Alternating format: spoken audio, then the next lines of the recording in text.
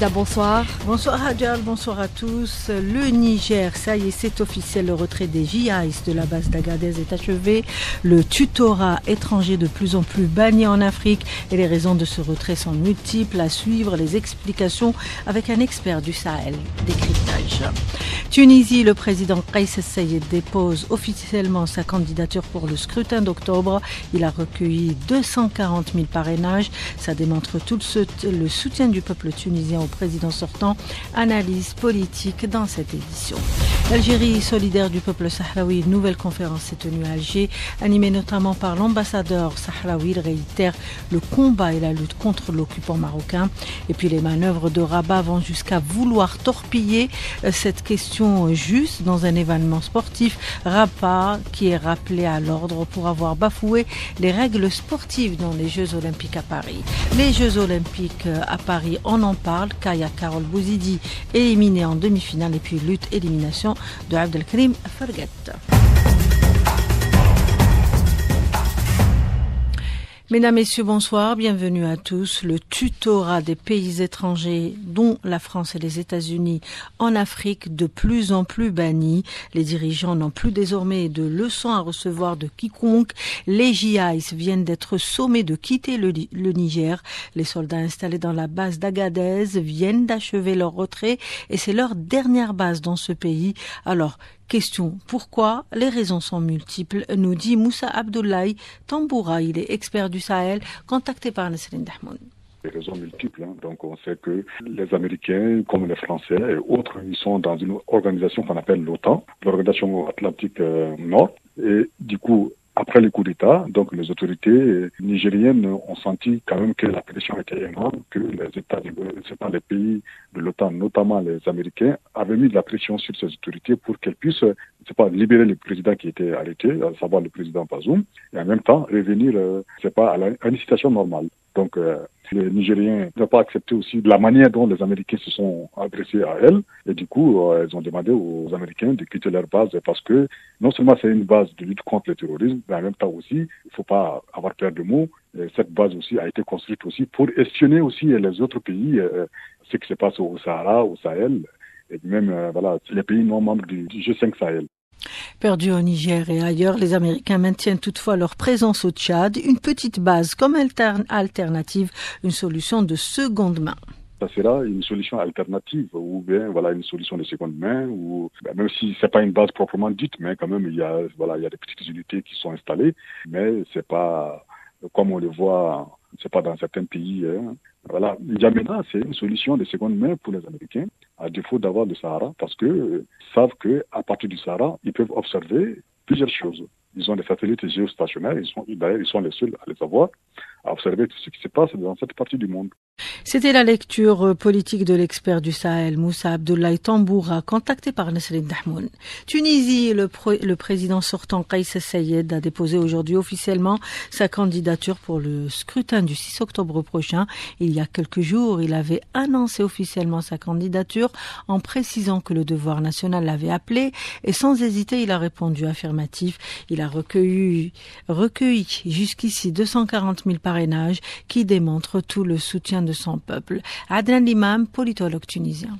Il y a eu un élan populaire pour recueillir ces parrainages. Le nombre total de parrainages recueillis a atteint 240 000 parrainages, ce qui est considérable, ce qui est tout à fait remarquable, et ce qui euh, d'ailleurs euh, atteste bien qu'il y a effectivement un élan populaire pour le soutien de la candidature du président sortant.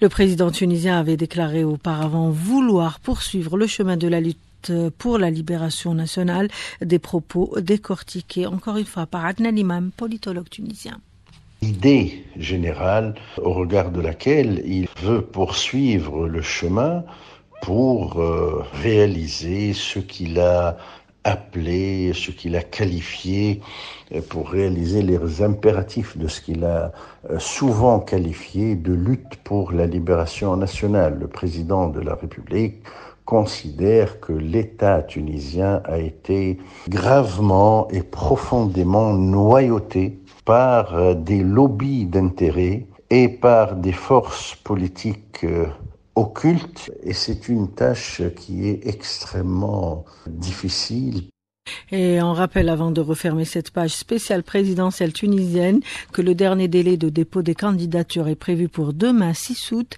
à 18h heure locale. Plus de 9 millions appelés à ce vote pour choisir leur futur président parmi la liste préliminaire des candidats, laquelle sera annoncée quant à elle dimanche prochain. L'Algérie reste solidaire du peuple sahraoui, s'est réitéré pour la énième fois lors d'une conférence à Alger organisée par le journal El Moudjahid en présence de personnalités nationales, des diplomates africains et d'Amérique latine, aux côtés de parlementaires, journalistes et représentants de la société civile. Lors de son intervention, l'ambassadeur sahraoui à Alger, Abdelkader Talab Omar, a beaucoup insisté sur la poursuite de la lutte du peuple sahraoui jusqu'à aboutir à son autodétermination. Toutes les manœuvres du Maroc seront voués à l'échec, y compris ces provocations de Rabat qui se sont invités aux Jeux olympiques de Paris. Le maire de l'île Saint-Denis a pris la décision de fermer le stand marocain dans une fan zone où le sport a laissé place à la propagande loin de toutes les règles de notre neutralité sportive. Selon Bachir Moutir, il est militant de la cause haraoui établi en France, contacté par Lies cette fermeture est intervenue suite à une soirée spéciale Maroc lors de cette station Afrique. Et à la fin de la soirée, il y a une chanteuse marocaine qui a chanté pour, entre guillemets, la marocanité des Sahara occidental. Le maire, il a fait preuve d'un courage exceptionnel, dans le sens où il est intervenu déjà sur scène pour rappeler le cadre déjà de cette fin de zone où tous les pays représentés ont signé une convention avec la mairie qui stipule particulièrement une neutralité politique. Personnellement, je salue sa décision courageuse à la fois d'intervenir euh, en plein public, de décider de fermer le stand du Maroc. Cet incident, hein, c'est pas le seul. D'ailleurs, en France, il y en a plein durant toute l'année. Et la lettre de Macron ne changera rien. Les Jeux Olympiques de Paris, on y reviendra à la fin du journal. Restez avec nous.